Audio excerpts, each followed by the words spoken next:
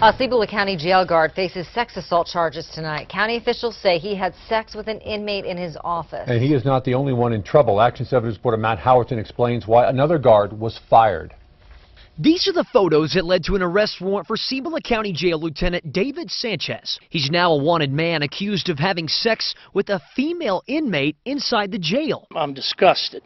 Uh, we, we not only, uh, they not only take an oath to protect the safety of the employees, they take an oath to protect the safety of the inmates. Cibola County Manager Bob Gallagher was tipped off about the incident last week. He was shown surveillance footage where you can see a guard and an inmate. Gallagher says he took her to his office around 10:45 p.m. and doesn't leave for hours. The next movement out of the office was around 4.30. Sanchez was placed on administrative leave without pay. The New Mexico State Police then opened an investigation. Gallagher says other inmates told investigators that they heard the woman talking about the guard. The inmate had gone back into the cell, uh, had bragged to, uh, to other female inmates about the gifts she had received and about what actually occurred in the office. Gallagher says another guard has already been fired from the jail over this because he tried to make sure no one knew the inmate was missing.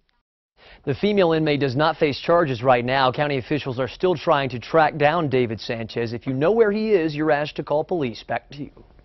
Gallagher says Sanchez was already on thin ice. He was demoted after a riot erupted at the jail last year. The